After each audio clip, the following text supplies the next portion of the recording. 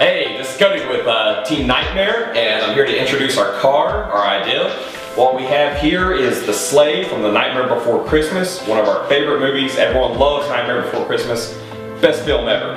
Anyways, uh, while we're adding to it our own flair, we're gonna help uh, support Red Bull, of course. We're throwing on the Red Bull can on the back instead of the normal can and we're gonna try to see if we can make it something really exciting for the race. Um, we were thinking maybe someone pop out at the end of the race or something, or uh, maybe put something pressurized in there, or just spews out Red Bull all over the crowd.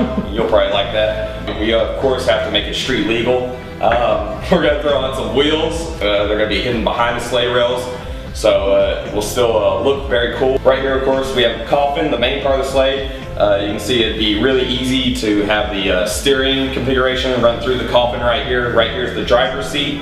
Out in front of the sleigh, we're gonna have reindeer.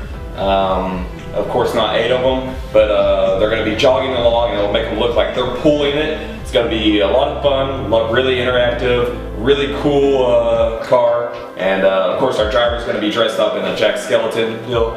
Of course, this is like a month before Halloween, so it's gonna start being fall, it's gonna start being that uh, time of the year, that festive uh, Halloween kind of theme. So that's what we're thinking too. Okay, what we've got here is a storyboard. I know you probably can't see it of our skit. We know a lot of people get to do fun skits for Red Bull, and our idea is pretty simple. It's a uh, Jack has to save the Red Bull F1 team, and so he's bringing Red Bull on his sleigh to the rescue. He's, he's uh, spreading Red Bull all over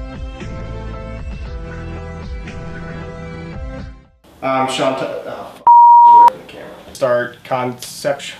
Allow the sleigh to ride on flat land, or not flat.